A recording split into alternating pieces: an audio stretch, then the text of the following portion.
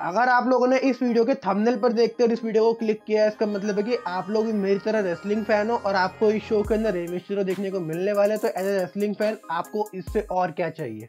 So hi everyone welcome to cinema live 33 तो आज की इस वीडियो में हम लोग जिस शो का रिव्यू करने वाले हैं, उसका नाम है अगेंस्ट द रोप जिसको हाल ही में नेटफ्लिक्स के ऊपर रिलीज़ किया गया है। ये शो रेसलिंग के ऊपर बेस्ड है, वैसे भी रेसलिंग के ऊपर ना बहुत कम शोज़ बनते हैं।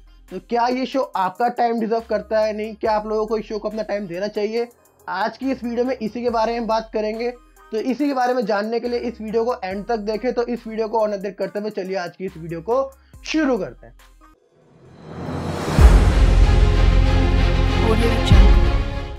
तो इस वीडियो को देखो शुरू करते हैं इस शो की बेसिक स्टोरी से। शो की बेसिक स्टोरी फॉलो करती है एंजला को जो कि एक गलत ड्रग केस में छह साल की अपनी जेल की सजा काट के अब बाहर आई है। और उसको बाहर आके पता लगता है कि उसका जो पति है, उसने एक दूसरी गर्लफ्रेंड बना ली जिसका नाम है कैंडी जो कि एक रेसलर है। साथ में जो उसकी बेटी है रोशियो उसको एंजला बिल्कुल भी नहीं पसंद। बट देखो, हर कहानी में एक ट्विस्ट होता है। वो ट्विस्ट यहाँ पे ये है कि जो रोशियो है, वो रेसलिंग की बहुत बड़ी फ़ैन है। मैं सिंपली बोल सकता हूँ कि वो कैंडी की बहुत बड़ी फ़ैन है। साथ में जो एंजेला है, उसके ब्लड में रेसलिंग है, चाहे आप बात करो उसके फादर की, चाहे आप बात करो उसके मदर की but due to some incident जो कि उसके फादर के साथ हुआ था, उसके बाद से उसने रेसलिंग रिंग के अंदर कदम नहीं रखा है। तो वो अपनी बेटी की नज़रों में अपनी रिस्पेक्ट को वापस अर्न करने के लिए रिंग में उतरने का फैसला करती है। तो क्या वो अपनी बेटी की नज़रों में अपनी रिस्पेक्ट को वापस अर्न कर पाएगी? साथ में क्या वो अपनी जो सबसे बड़ी राइवल है कैंडी उसको हरा पाएगी? तो इन्हीं सब बातों को जानने के लिए आपको इस शो को नेटफ्लिक्स के ऊपर देखना पड़ेगा। ये शो आपको नेटफ्लिक्स के ऊपर इंग्लिश और स्पेनिश में देखने को मिल जाएगा।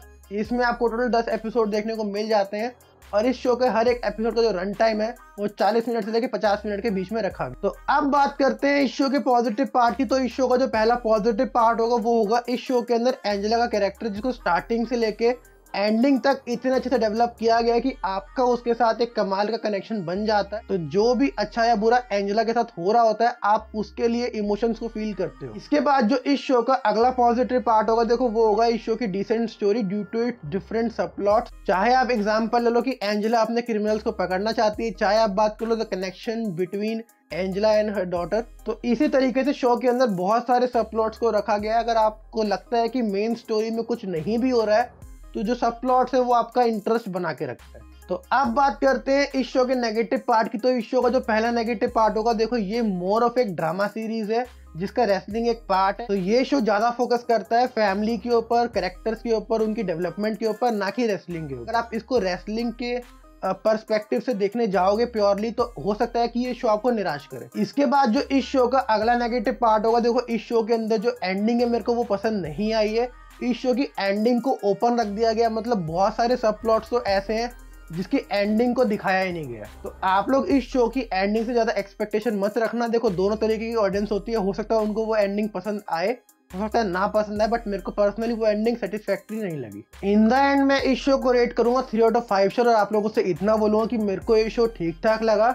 ड्रामा सीरीज़ की तरह आप इस शो को देख सकते हो। रेसलिंग थोड़ी सी कम एक्सपेक्ट करना। बाकी ओवरऑल ये शो अच्छा है। तो अगर आप लोगों को ड्रामा सीरीज़ पसंद आती है, इसमें थोड़ा सा रेसलिंग का तड़का हो, साथ में थोड़ी बहुत कॉमेडी हो तो आप इस शो को देख सकते हो, या आपको नेटफ्लिक्स पे देखने को मिल जाएगा। तो उम्मीद करता हूँ कि आप लोगों को आज का वीडियो पसंद आया होगा। अगर आप लोगों को आज का वीडियो पसंद आया तो इस वीडियो को थोड़ा सा लाइक कर दो। ऐसी और वीडियोस को देखते रहने के लिए इस चैनल को सब्सक्राइब कर लो। मैं ऐसे वीडियोज़ को लाता रहता हूँ। तो आज की इस वीडियो में इतना ही। मैं आपसे मिलूँगा एक नए वीडियो में तब तक के लिए goodbye love and take care and keep watching cinema live thirty